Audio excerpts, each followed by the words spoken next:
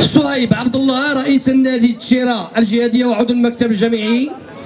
السيد عبد السلام زرود الكاتب العام لنادي أو جمعية العرائش للترياتلون وعضو المكتب الجامعي.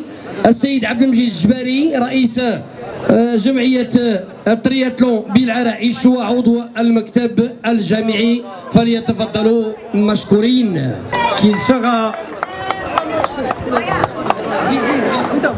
Alors المرتبة الثالثة يتفضل السي عبد المجيد الجباري ر- صهيب عبد الله رئيس النادي الدشيرة الجهادية وعضو المكتب الجامعي. Pour la deuxième place, j'appelle Titrit Bergman. المرتبة الثانية يتفضل عبد السلام زرود الكاتب العام لجمعية العرائش للترياتلون وعضو المكتب الجامعي فليتفضل مشكورا. ميدالية فضية و bouquet de fleurs هنيئا للبطلات تقول